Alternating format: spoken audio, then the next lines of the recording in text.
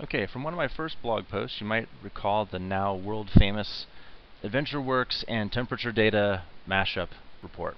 This is a Power Pivot report, and up until now, all I've shown you is the screenshots of it, and this time I'm going to show you instead how I made it, how I put this together, and then when I'm done with this, I'll share the workbook out so everyone can sort of play with it themselves and follow along at home. Uh, remember that the interesting thing about this report was that it had this temperature slicer, temperature range slicer, which sliced the entire dashboard by the temperature range that, that, that my customers were actually experiencing on the day that they made the purchase uh, in the in the place that they made the purchase. So this is what the goal is: is to get get this, and I'll show you how we got there. So first of all, here in Excel, uh, I already have uh, a report, a very, very simple pivot table report built against the AdventureWorks data. And AdventureWorks is just a sample database that comes with, with comes with the SQL Server, and you can download it yourself. Uh, it's free, and um, it's a very realistic database simulating a the AdventureWorks company, which is a, a fictional company that um, basically sells a lot of outdoor gear like mountain bikes and things of that sort. So this is a simple pivot table of that, and the, our goal here is to add the temperature slicer to the to this pivot table. So over in the um, over in the Power Pivot window, you'll see here the tables that I've already imported from AdventureWorks, and uh, these came with their relationships already predefined. So if all I wanted to do was slice sales data by things like product or customer properties, things of that sort, then I'd be perfectly set. I don't need to do anything else. Uh, but I do not have the temperature data in here yet. The temperature data is over here in Excel on another sheet. So I've already uh, pasted it in here for convenience sake. Uh, now I went and collected this off of the internet myself. I went to the U.S. Meteorological site and I downloaded a bunch of data, spent a good amount of time cleaning it, and then um, eventually had to merge it, merge different regions of the country into regions that roughly match the, or actually they, they do match the regions that are in AdventureWorks. And at that step, I took a little bit of license with how liberally I, I merged different regions of the country. So these numbers won't be quite exact. Don't go using them as gospel, but I didn't make them up. I did pull them out of there. So just uh, just a word of warning.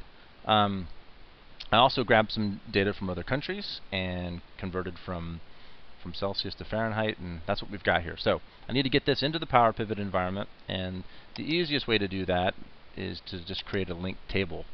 And I could have just copied and pasted over here, but I like create linked table now. It's a, it's a single click, and uh, it also lets me edit back on the Excel side if I want to make changes. So I'll rename this new table in Power Pivot to be temperature.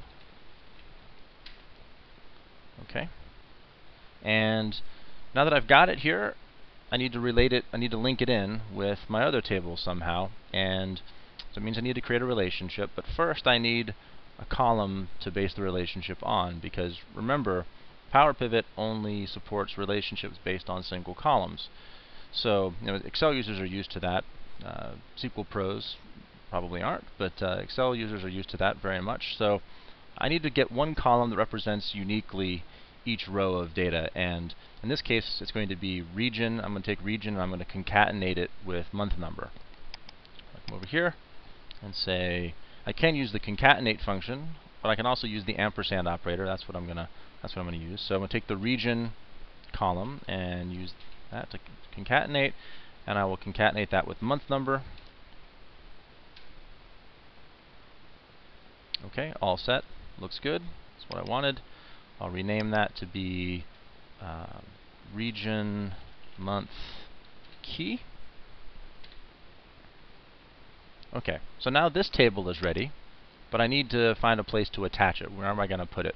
And there might be a, a really ideal, sort of philosophically correct way to do this if I were a SQL, SQL guru, but I'm not. So I'm just going to go to the most natural place for me, which is to attach it to the to the sales table directly and um, I'm going to need to create a column that matches that one that I just created in the temperature table.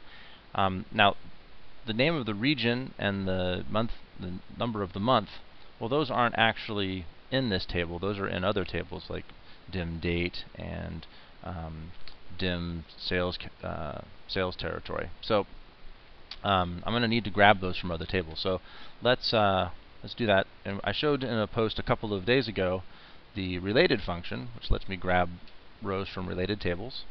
So I'm going to say equals related of the dim sales territory. If I can type it correctly, dim sales territory table. I want the sales territory region column. Okay, and then I'm going to concatenate that with, again, using the related function, of the dim date table, I want the month number of year column. Okay. Let's go ahead and let that calculate and compress. There we go. Go ahead and rename it again. I know what it is. Uh, rename it to be region month ID.